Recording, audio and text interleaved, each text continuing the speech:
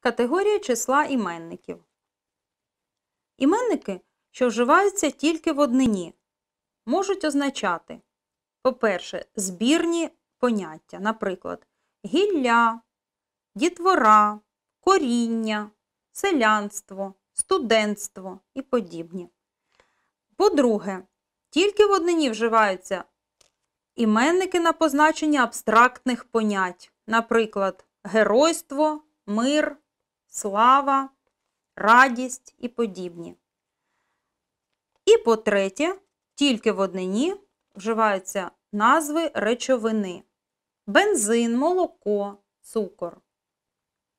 Тільки в множині вживаємо іменники, що позначають назви сукупностей людей, істот, предметів, наприклад, гроші, діти, фінанси. Також назви часових понять, ігор, звичаїв обрядів, наприклад, дебати, іменини, посиденьки, пустощі, шахи і подібні.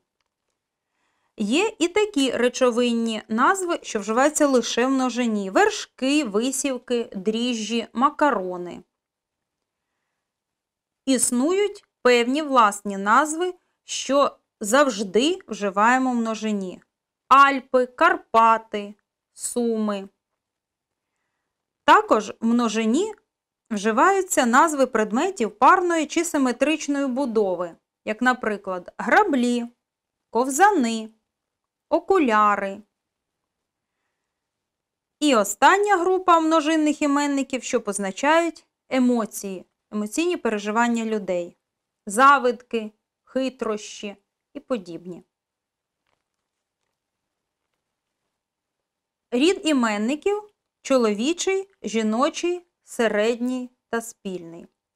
Визначаємо чоловічий рід, по-перше, за нульовим закінченням. З нульовим закінченням слова на кшталт стіл, чай, стілець.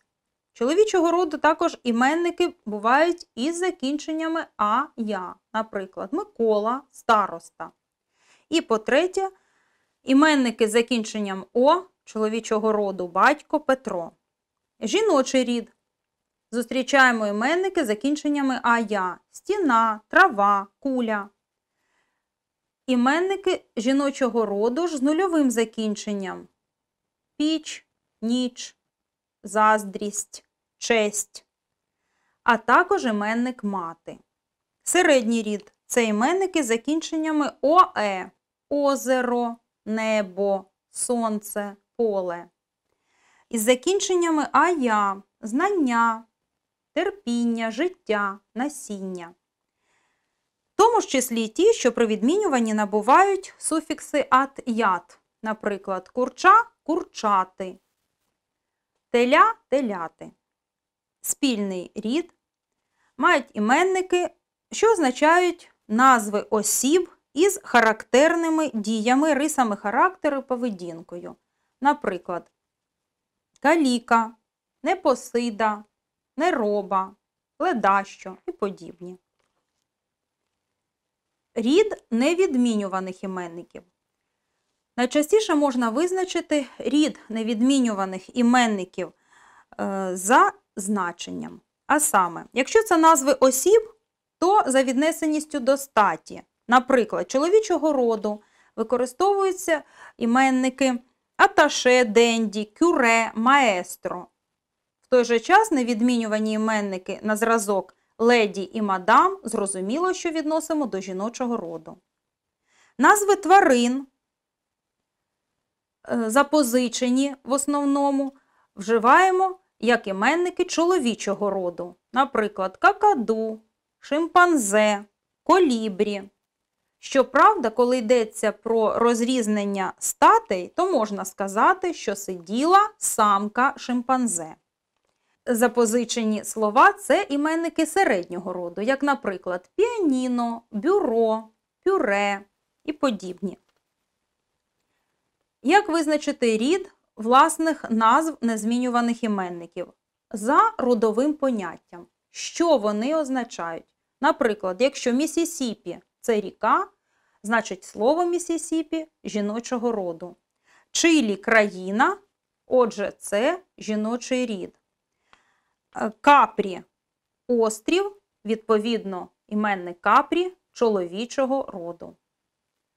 Можна визначити також рід абревіатурних іменників, тобто таких, що записані скорочено за першими літерами слів, з яких утворено абревіатуру. Наприклад, АТС це атомна теплова станція.